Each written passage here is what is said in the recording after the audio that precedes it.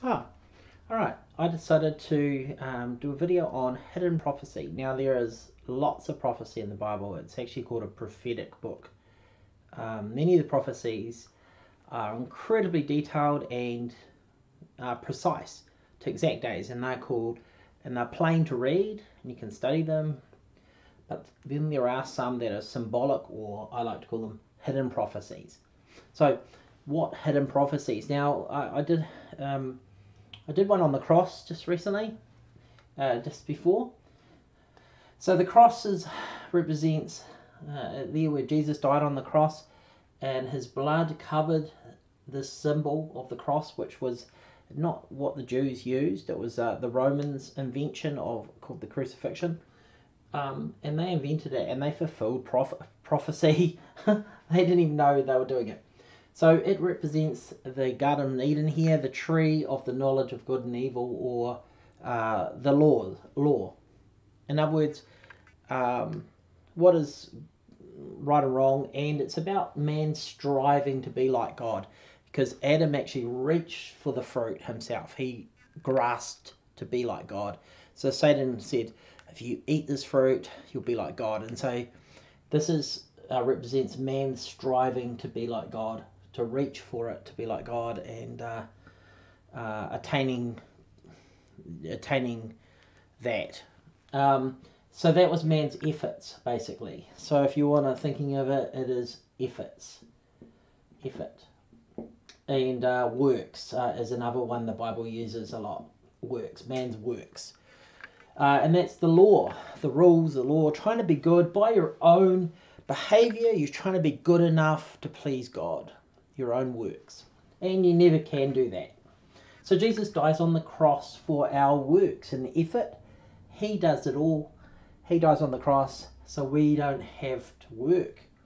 Or uh, he, we just rest in his work, what he's accomplished. So therefore no man can boast. We're all saved by grace. Grace is a gift from God. He's done it for us it's not of works, lest any man should boast.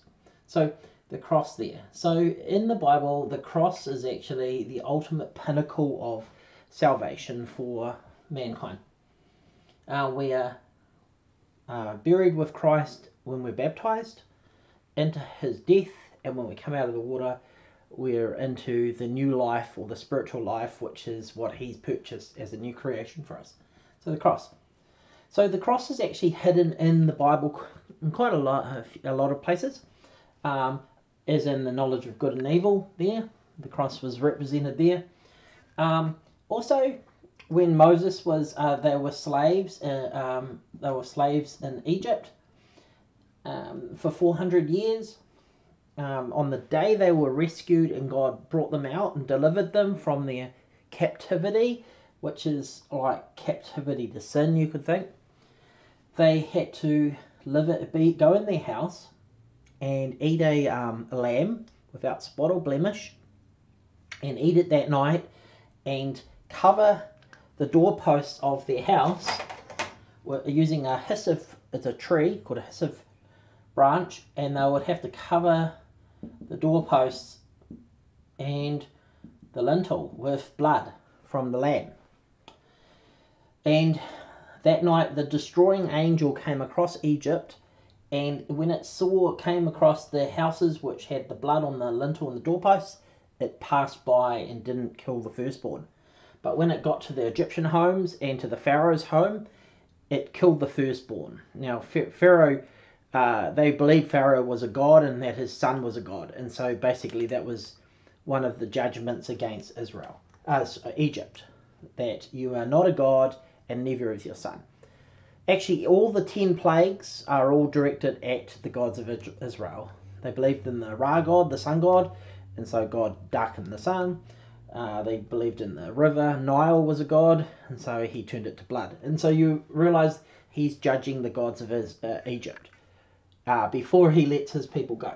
So this is really important. Now, what's important about this is the the, Jew, uh, the Jewish people living in their homes were protected by the blood. Now, where is this blood applied? It was applied to the doorpost and the lintel. Now, the lintel uh, is literally translated cross piece. There it is. The cross piece, the blood applied to the cross piece, is what saved them from the destroying angel.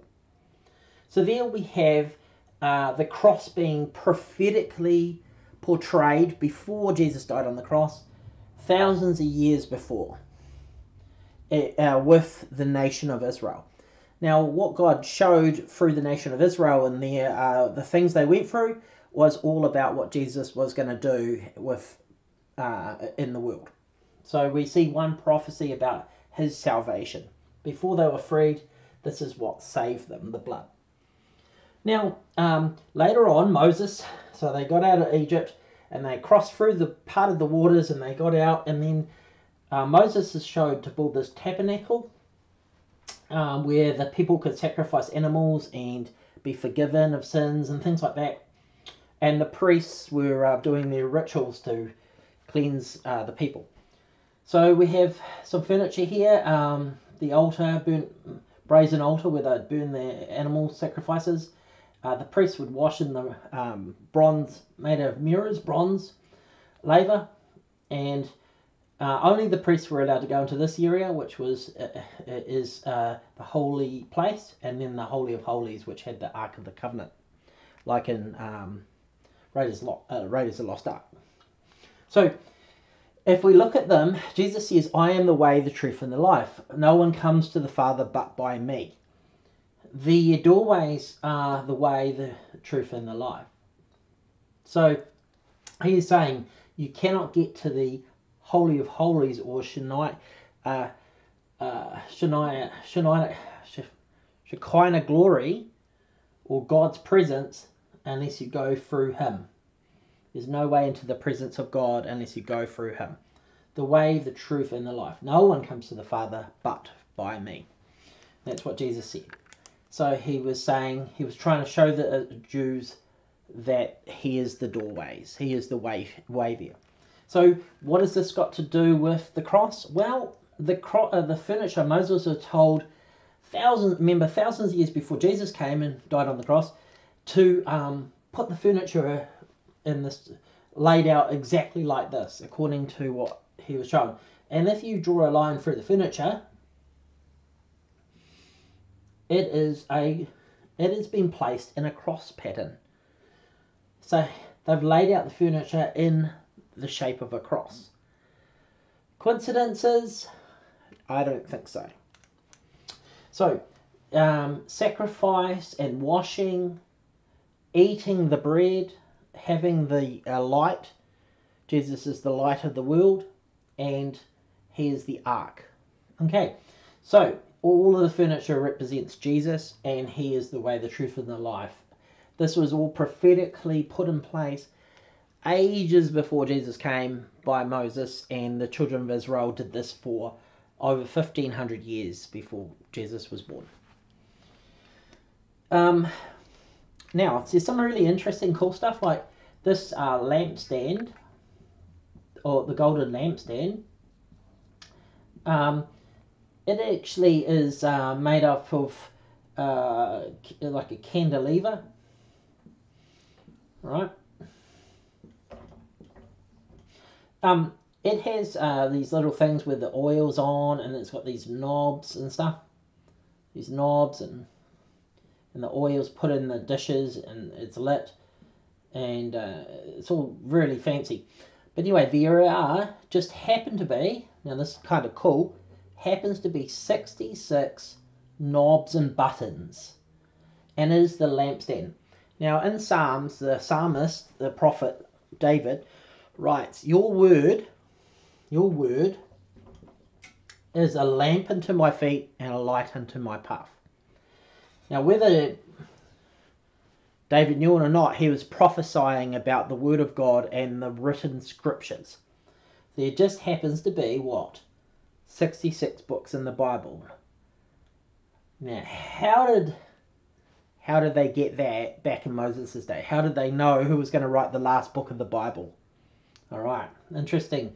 Your word is a lamp unto my feet and a light unto my path. Psalm 119, verse 105. It's one of my favorite favorite verses. It was that my first verse I ever memorized. So we have the cross and we have the Word of God, the lampstand, and the scriptures themselves and the books even represented in this furniture. There's incredible um, study in every single part. Even the bronze laver was made out of the mirrors um, of the people, the woman. Uh, bronze mirrors. They used to look. Uh, they didn't have obviously mirrors like us, so they'd had uh, these mirrors made out of bronze, and they were all um, made uh, made into this washing bowl. So in the verses in the New Testament, you read about the washing of the Word, and you look into it, and so this is what's referring to. We're looking into the Word of God, which is a mirror to, to our souls. So there's lots and lots of teaching and amazing revelation just in this part here. But you can see it is prophetic about the cross. No mistakes or coincidences. Then over here we have, uh, oh yeah, so that's some of the prophecies and they're pretty cool. I'll just flip over.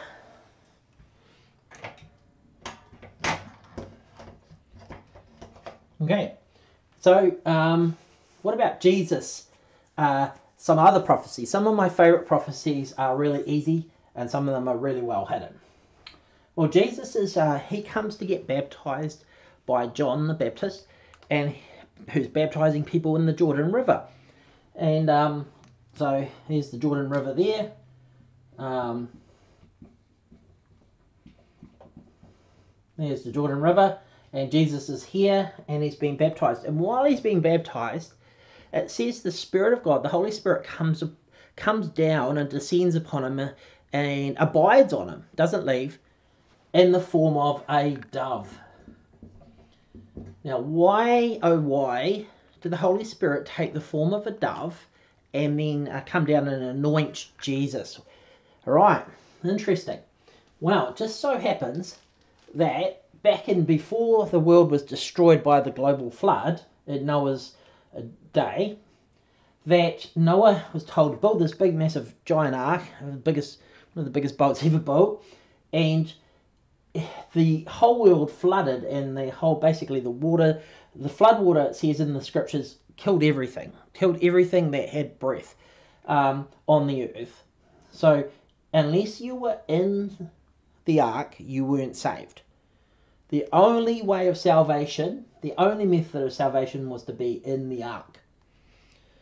Okay? So, only way of salvation um, was in the ark. Now, when the um, they're in the ark and they're saved, now to when the flood, uh, Noah wanted to know when the flood waters actually how far down have they gone and were they receding and could they, uh, when were they going to get out of the ark? And so it'd been flooding, raining for 40 days, but flooding for about 150 days, and then they were in it for a lot longer than that as well.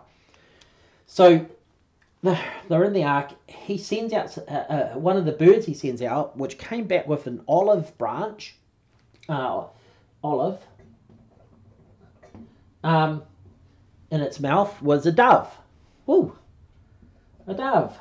How coincidental. And it had the olive branch. Now, when we come back to Jesus again, he's in the river, he's in the water, and the same thing happened here. The heavens uh, have opened, and it's rained for 140 uh, for 40 days. But then when it when the uh, it says the waters are receding or going down, in other words, the waters of death are starting to go down what was killing everyone was going down and reversing, the dove with the olive branch comes back to the ark, comes to the ark.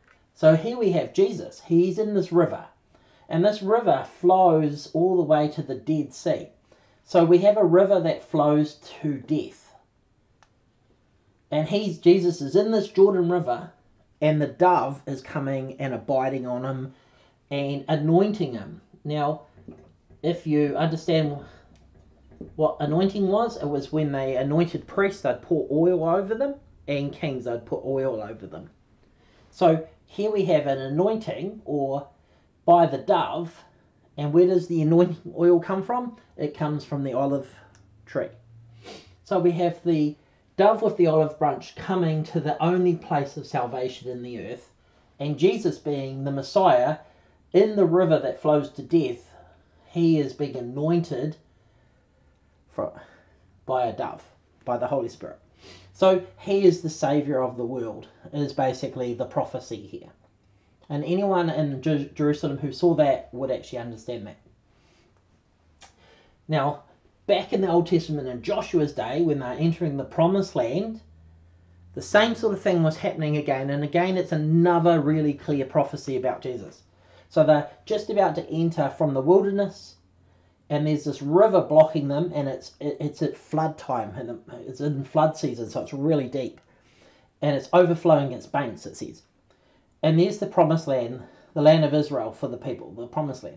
So they're in the wilderness and they've been wandering around for 40 years, and, the, and all the generation that came out of Egypt have died off, and it's just new kids with them. And they come up to this river, and um, um, Joshua was told, Get the priests to hold the Ark of the Covenant and walk into the water. And when their feet touch the water, the river's going to stop. Stop. Like it's going to uh, allow you to walk walk through. So the, the priest there holding the ark, I don't know if there were two priests holding it or four, I don't know. But anyway, the priests walk in and their feet touch the water, and it says the waters of the River Jordan uh, stop and pile up in a big pile, and then it starts to back up the river. The waters start to back up and go up the river in reverse. And they go up to, back up to a city called Adam. Now, how coincidental is this? The waters that flow to death, the Dead Sea, or death, are stopped and back all the way up back to Adam. See, this is Adam representing Adam's sin or Adam's transgression. So, who's the ark there? There's an ark there. We already know that Noah's ark represents Jesus, and this ark, where the blood is applied on top, covers sin. So, the ark represents, in both situations, Jesus again. So Jesus, in this case, the ark, touches the water and backs sin, or the rivers of death, all the way back to Adam. And that's exactly what he's doing in the Jordan River when he's baptized. He goes into the water and he's showing, I am the Savior of the world, I am the ark, I am stopping the flow of death back to Adam and allowing people to come into the promised land, the kingdom of God, through me, through my works. And that is uh, some hidden prophecies about the work and uh, of Jesus in the Bible through the